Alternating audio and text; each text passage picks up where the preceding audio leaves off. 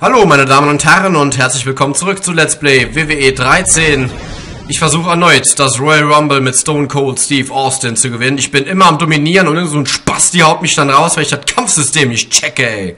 Okay, ich check es schon, aber ist echt blöd, dass man die Leute nicht mit dem Irish Whip in die Seile befördern kann. Ist echt scheiße. Muss man sich immer in die Ringecke. Naja gut, das stimmt, das könnte ich eigentlich mal machen. In die Ringecke dann befördern und von da aus rausschmeißen. Stimmt, das wäre eigentlich mal eine Idee. Naja, jetzt ist zu spät. Und dann kickt er mich da raus. Ich wusste gar nicht, wie man das abbricht. Ich habe schon gedacht, ich hab's geschafft, jawohl. Und dann kein Plan, ey, wie das gemacht hat zum Schluss, ey. Oh Mann, waren schon alle draußen, ey. Aber das Royal Rumble dauert eh ewig lange. Weil so ein Royal Rumble immer ewig lange dauert. So, das hat ein Royal Rumble eben an sich. Bis da mal 30 Mann aus so einem Ring rausgeflogen sind, dauert immer ein bisschen. Aber gut, ich weiß jetzt nicht... Nee, eigentlich haben wir... Ich habe ja eben gesagt, im letzten Part habe ich gesagt, wir haben am Anfang angefangen, am Anfang des Matches. Aber das stimmt ja gar nicht. Da waren ja schon vier Leute drin. Das heißt, wir haben nicht... Wir sind nicht jetzt schon fast zu Beginn des Matches reingekommen. So, dann fassen wir hier erstmal Mark Henry an und machen dem mal ein bisschen Blatt, geben dem mal ein bisschen Zunder. Das gleiche machen wir mit Mick Foley und geben den hier erstmal ordentlich eins auf die Mütze, den ganzen Kollegen hier, und zeigen denen, wer hier der Boss ist, nämlich Stone Cold Steve Austin. Austin 360. So, versuche ich den mal rauszuhauen hier, Mark Henry. Ah, fuck. Falsch gedrückt schon direkt. Scheiße. War klar, dass das jetzt nicht funktioniert. Also gehen wir mal wieder auf Mick Foley. Der meint hier erstmal, er müsste kontern. Und äh, mir gelingt es nicht zu kontern. Das ist scheiße. Aber jetzt lenkt Mark Henry Mick Foley ab und der Road Dog kommt, kommt rein. So, und jetzt kommt hier erstmal ein schöner Angriff von uns. Was war das denn jetzt? Äh, egal. Auf jeden Fall dürfen wir The Rock ja gar nicht raushauen, bevor wir nicht den Stone Cold Stunner mit ihm gemacht haben. Das ist auch wichtig. Denn äh, das wäre ein bisschen scheiße, denn das ist ja eins der historischen Bonusziele. Alter! Kontert der hier die Attacke ab, ey. Wie so ein junger Agiler. Aber eigentlich ist äh, Mark Henry alles andere als ein junger Agiler. Naja, ist auch egal. Das war so klar, dass er irgendwann abblockt hier. Scheiße, Mann. Hm, das hat bestimmt wehgetan. Das war fast ein dritten... Ah ja, schon wieder, du Spasti. Komm mal klar, ey. So, erstmal abhauen hier und auf den Road Dog gehen. Ja, beim letzten Mal auch ordentlich bearbeitet. Ja gut, das raushauen bringt wohl eher wenig. Der, äh, hat nämlich einiges noch auf dem Kasten, denn der ist ja gerade erst reingekommen. Und ich bin jetzt, glaube ich, immer zu spät. Ja, hat nicht geklappt. Kann ich noch, nicht nochmal raus? Doch, jetzt kann ich nochmal rausschmeißen. Jetzt habe ich es geschafft.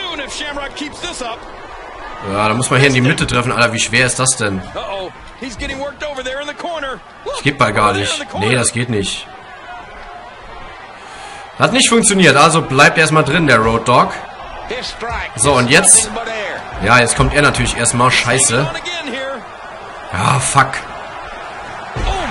Ah, meine Damen und Herren, das ist... Heute ist nicht mein Tag, wieder kommentarmäßig. Also sorry, dass der Kommentar in diesem Part ein bisschen scheiße ist, aber...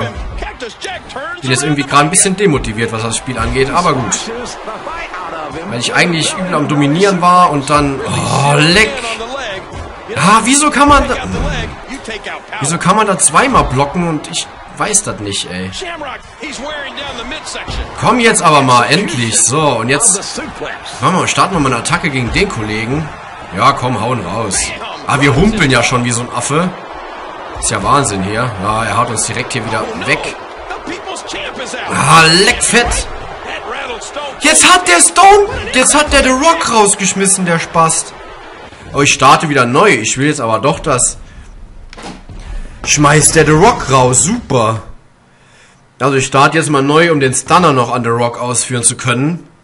Das hier geht ja alles schief bei dem Royal Rumble. Geht alles schief, was schief gehen kann.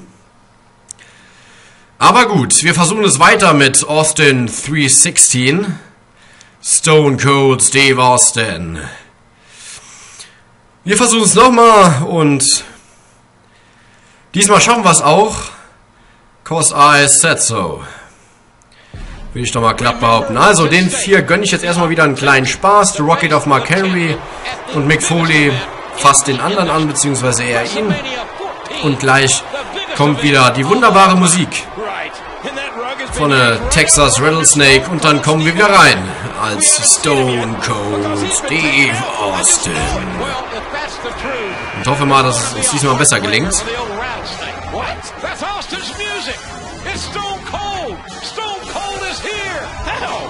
Alter, JR ist doch ein richtig geiler Kommentator, muss man auch nochmal sagen. Stone Cold is here! Ja, man kann es natürlich nicht nachmachen, aber JR ist echt ein richtig geiler Kommentator. Beim letzten Mal habe ich ja noch überlegt, wie denn der neue Kommentator heißt, der mittlerweile an der Seite von Jerry the King Laura ist. Und äh, letztes Mal war es mir nicht eingefallen, wie gesagt, aber jetzt weiß ich wieder, ist mir wieder eingefallen. Es ist Michael Cole. Den kennen wahrscheinlich auch viele aus so ein paar The Rock Interviews. Der hat nämlich öfter mal The Rock interviewt und der hat den darauf oder währenddessen ein bisschen blatt gemacht. Oder was heißt blatt gemacht? Eben so wie The Rock es immer macht, die Leute verarscht und zur Sau gemacht und lächerlich gemacht. So das auch mit ähm, Dingenskirchen des Öfteren mal gemacht. Mit Michael Cole. Come on, you're rolling. Shut your mouth. Und da haben wir die Signature. Oh, scheiße, jetzt, jetzt sollen schnell machen. Bei... Ah, geht natürlich wieder nicht. Klar. Komm, wir machen mal gemeinsame Sache mit The Rock. Oder auch nicht. Kein Doppeldingens, sondern wir gehen jetzt hier auf den komischen Kerl, den ich nicht kenne. Und vielleicht hauen wir den ja auch raus. Oh, super, jetzt ist er schon. Doch, jetzt ist er wieder. Und da sind wir zu zweit am Start. Der hilft uns jetzt, der gute Mark Henry. Das gibt's natürlich auch ab und zu mal. Scheiße. Fuck, ich hab's verkackt, sorry.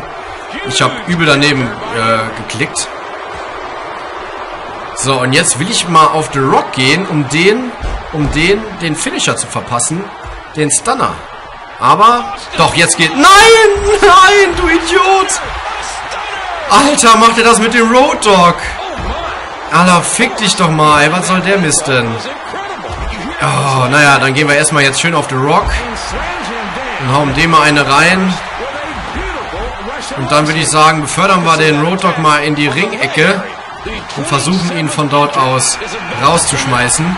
Immerhin hat er gerade einen Stunner abbekommen.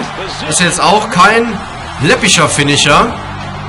Aber trotzdem schafft das hier ohne Probleme, mich hier das Ganze abzuwehren, obwohl ich die richtige Taste gedrückt habe. Da bin ich mir sicher. Okay, diesmal habe ich die falsch gedrückt. Und jetzt kommt The Rock. Und ich bin mal wieder zu früh. Und da kommt wieder der komische mit den hässlichen Tattoos der mich von weitem weg, von weiter weg immer an äh, Eddie Guerrero erinnert, aber ist es natürlich nicht. Aber mit den langen Haaren erinnert der wirklich an den alten Eddie Guerrero. Später sah er dann ja anders aus, er hatte eine Kurzhaarfrisur. Aber Scheiße, komm, das blocken wir jetzt aber ab. Das lasse ich nicht über mich ergehen. Jawohl, zack. Da ist es, The Rock. So einfach ist es nicht hier Stone Cold rauszuschmeißen. Das schafft dann nur ein Mick Foley mit irgendeinem so behinderten Scheißdreck. Nein! Nicht den Rock rausschmeißen! Hast du sie noch alle? Nix da! Alter Falter, war das eng. Alter Falter, war das eng. Na, ich will auch... Nee, bist du verrückt? Nee, abbrechen. Jetzt hätte ich hier fast The Rock nicht an die Seile schmeißen. Aber gleich habe ich wieder den Finisher. Vielleicht gerade zum richtigen Zeitpunkt. Komm, geh weg, Signature. Ich will den Finisher und den gegen The Rock ausführen. Den Stunner, da ist er. Zack. Das war's. Das war der Stone Cold Stunner. So, jetzt. Was macht der denn jetzt? Was ist denn jetzt los? So, jetzt haben wir ihn in, in der Ringecke und jetzt kommt er mal raus. Jetzt kommt The Rock raus. Oh, nee, daneben geklickt, ich Idiot. Dann hauen wir ihn eben raus. Oh, der hat seinen Signature-Move im Moment. Ich glaube, der kann dann einfach so abbrechen, wenn er will. Oh, macht aber nicht. Ah, er macht das hier. Und jetzt muss ich hier wieder versuchen. Okay, einmal habe ich es geschafft. Nochmal geschafft. Und damit ist er raus. Nice. Das war's mit dem Kollegen. Jetzt ist noch The Rock drin und dieser gefakte Eddie Guerrero. Der hat auch noch den Signature-Move. Genauso wie ich. The Rock hat keinen. Dafür hat The Rock schon Blut am Kopf und den Arm verletzt scheinbar. Also jetzt sieht es mal ein klein bisschen besser aus für uns, für den Texas Rattlesnake, für Austin 316. So, und der geht erstmal wieder auf The Rock hier, der Kollege. Und jetzt versuche ich ihn rauszuschmeißen. Mal gucken, ob mir das gelingen wird. Das war schon mal gut getroffen. Der hat aber noch sein Signature. Der könnte, glaube ich, einfach so ab, äh, abbrechen, wenn er will. Also einfach so macht er aber nicht. Er macht hier das. Und jetzt gehe ich natürlich auch... Ja, er geht natürlich auf den Rock, anstatt den Kollegen rauszuschmeißen. Wollte ich nicht. Eigentlich wollte ich jetzt den Typ rausschmeißen. Was war das denn gerade? Wieso hat es angefangen zu lecken? Da bin ich lieber erstmal erstmal ins Menü gegangen, bevor mir hier irgendwas passiert. Schubst er mich schon wieder weg. Und jetzt gehen wir mal auf ihn, denn sein Tech-Team-Partner kommt hier gerade zum Ring. Das gefällt mir natürlich nicht so. Dann, äh, bevor die hier irgendwelche Allianzen schließen, würde ich sagen, hauen wir den Kerl einfach mal raus. Ich gebe mein Bestes. Und jetzt hoffe ich mal, dass der andere sich direkt mal schön mit The Rock beschäftigt. Macht er auch sehr gut. Jetzt haben wir hier die Chance, ihn rauszuschmeißen. Und das war's. Damit ist der gefakte Eddie Guerrero draußen. Und können wir ihm nicht hier helfen? Irgendwie? Jetzt haben wir es abgebrochen. Äh, achso, ich bin hier... Boah, das war ein geiler Konter. Das war ein geiler Konter. Zack, geh mal dann die Ecke. Ja, und du schmeißt ihn mal raus, wenn ich dir die Stinkefinger zeige. ah, der war gar nicht der Stinkefinger-Dings. Na, egal. Er kann ihn jetzt natürlich auch rausschmeißen. Ist ja kein Problem. Wir haben ja den Stunner bereits ausgeführt. An The Rock. Aber er ist noch drin. The Rock ist noch drin. Er hat es tatsächlich geschafft, hier noch drin zu bleiben. Die ähm, Bonusziele haben wir übrigens, by the way, bereits alle geschafft. Wir haben jetzt bereits alle historischen Bonusziele. Wir haben bereits drei Leute rausgeschmissen. Und da hören wir Freude schöner Götterfunken. Und das ist natürlich ganz klar, was da ansteht. Genau. Halter, Hunter Horst Helmsley kommt in den Ring und äh, verpasst uns jetzt wahrscheinlich gleich mal eine. Aber ich würde sagen, wir verpassen ihm eine und zwar den Stunner, aber dann wohl eher doch nicht. Ihm verpasst jetzt aber einen Stunner. Was macht er denn? Ich habe Stunner gemacht. Ah, oh, ich habe noch zwei Finisher, sehr gut. Wieso kommt der jetzt hier als erster zum Angriff, ey? Spasti. Scheiß Triple H. So, mit dem mache ich jetzt mal keinen Stunner. Sondern erstmal hier gehe ich auf sein Knie. Und da so ein bisschen zu Mitleidenschaften hier. Jetzt kommt der Stunner! Jawohl. Oh, und da ist er schon wieder. Mick Foley als Cactus Jack. Da kommt er wieder. Ja gut, Mick Foley hat eben mehrere ja, Charaktere, mehrere alter Egos. Der kann auch öfter mal kommen in einem einzigen Royal Rumble Match. Und genau das passiert jetzt. Da ist er wieder. Mick Foley. Diesmal eben als... Ah ne, Moment. Oh, sorry. Als Dude Love. Nicht als Cactus Jack. Als Dude Love ist er jetzt drin. Sorry, da habe ich mich mal wieder vertan. Heb ihn mal auf. Und äh, schmeiß ihn am besten raus. Den Triple H. Dann geben wir hier jetzt unser Bestes, um den Kollegen nach draußen zu befördern. Ja, da geht es schon ein bisschen weiter. Jetzt habe ich ihn verdrückt. Schon wieder? Und deswegen liegt jetzt auch noch da unten. Ich probiere es mal hier wieder mit dem Eimer. Zweimal! Zack! Triple H ist raus! Triple H, das war's mit ihm. Er ist nicht mehr in diesem Royal Rumble Match und dem Typ geht's möglicherweise gleich ähnlich. Nee, doch nicht. Gehen wir erstmal auf Dude Love und verpassen ihm die Signature. Komm! Oh, scheiße. Du Wichser! Kontert der hier wie so ein Spast? Ey, Battle, jawohl! Im Moment, wo ist mein Finisher? Ey! Wo ist mein Finisher hin? Ich hatte noch einen Finisher. Ah, okay, der ist doch noch da. Jetzt habe ich, hab ich auch wieder zwei, logischerweise.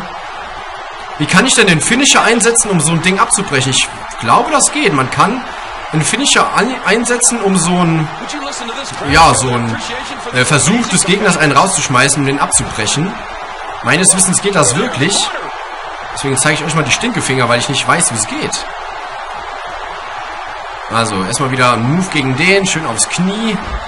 Das ist immer gut. Du bekommst jetzt den Stunner ab. Klar! Ich kann... Was war das denn? Ich konnte ihn nicht angreifen mit dem, mit dem Finisher, weil der... Klar, logisch. Ich konnte ihn nicht an... Ja, fick dich mal, du Spasti, ey. Ich konnte nicht mit dem Finisher angreifen, weil der seinen Jubel gemacht hat. Wie unfair ist das denn bitte? So, jetzt schmeißt ihn mal raus, ey, während ich hier die Stinkefinger zeige. Ja, auch geil, dass die Stinkefinger zensiert wurden hier. Ist auch geil. Also meistens nochmal. Was war jetzt schon wieder hier? Hat schon wieder geleckt. Und schon wieder nicht raus. Schmeiß die Leute mal raus. Ja, komm. Nicht so. Mit A. Geh hin und drück A. Ja, genau so. Und jetzt hau ihn raus. Hau ihn raus. Hau ihn raus. Komm. Schaffst du. Dude, love. Dude, love. Ich zähle auf dich. Komm. Gib ihm. Gib alles. Ah, du Wichser. Jawohl, er hat's geschafft. Nee, er hat's nicht geschafft. Na super. Ich will endlich mal wieder meinen Finisher machen. Jetzt aber. Zack. Stunner. so geil, wie er immer wieder abgeht nach dem Stunner. Oh, guck dir dem sein Face an. Der wird Spaß haben noch in diesem Match. Mit so einem Gesicht. Der hat ja jetzt mehr Blut wie Haut im Gesicht. Da muss man auch mal sagen an der Stelle. So. Und jetzt versuche ich, gebe ich hier mein Bestes, um Dude Love, alias Mick Foley, rauszuschmeißen. Und es gelingt mir nicht sofort, während der Kollege hier Blut verliert wie sonst was. Alter, geht das hier schnell. ich hab's trotzdem geschafft, ihr Spastis. Alter, dem habe ich gegeben. Und ich glaube, er ist der Letzte. Es kommt nämlich gar niemand mehr rein. Das sieht mir gut aus, meine Damen und Herren. Das sieht mir gut aus. Jetzt kommt erstmal wieder der Signature Move. Ich habe jetzt zweimal den Stunner. Zweimal habe ich den Stunner.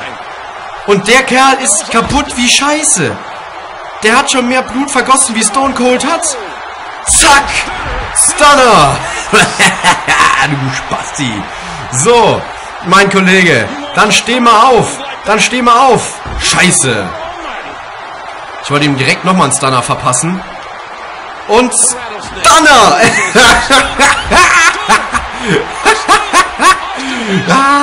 Alter, den haben wir so gefickt, ey, das gibt's gar nicht. Zack, du bleibst erstmal liegen. Komm, steh auf. Wie hebe ich den Kerl nochmal auf? So, ne? So. So, in die, in die Seile mit dir und raus. Komm, du fliegst jetzt. Jetzt ist Feierabend für dich. Jetzt ist Feierabend für dich. Du fliegst jetzt raus. Ich drück jedes Mal falsch. Jetzt habe ich getroffen. Du fliegst raus. Das war's.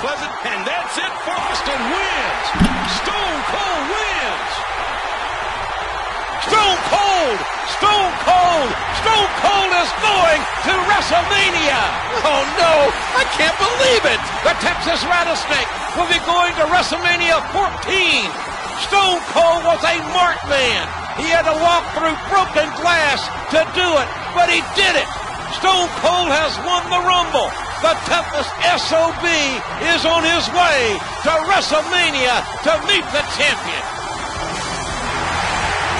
Jawohl, meine Damen und Herren, in diesem epischen Royal Rumble Match haben wir Stone Cold Steve Austin gewonnen. Übrigens ist Stone Cold Steve Austin der Einzige, der die Royal Rumble Match insgesamt dreimal gewonnen hat. Und davon, by the way, auch zweimal hintereinander. So, wir gehen wieder ins Zeitachsenmenü, denn das war's jetzt erstmal wieder mit Let's Play WWE 13. Und wir sehen uns dann beim nächsten Mal. Dann geht's hier noch weiter mit diesem Match hier. Also, okay, dann habe ich doch geirrt. Es geht doch nochmal weiter mit dem äh, mit, mit dem Aufstieg von DX, weil hier kommt DX jetzt auch wieder ins Spiel. Aber, meine Damen und Herren, das war es jetzt wirklich erstmal wieder mit diesem Part von WWE 13. Ich hoffe sehr, dass euch das Video gefallen hat. Mir hat es jetzt doch nochmal Spaß gemacht, dieses Match. Und wir sehen uns dann hoffentlich auch beim nächsten Mal wieder. Über eine Bewertung und einen Kommentar würde ich mich sehr freuen. Also, tschüss.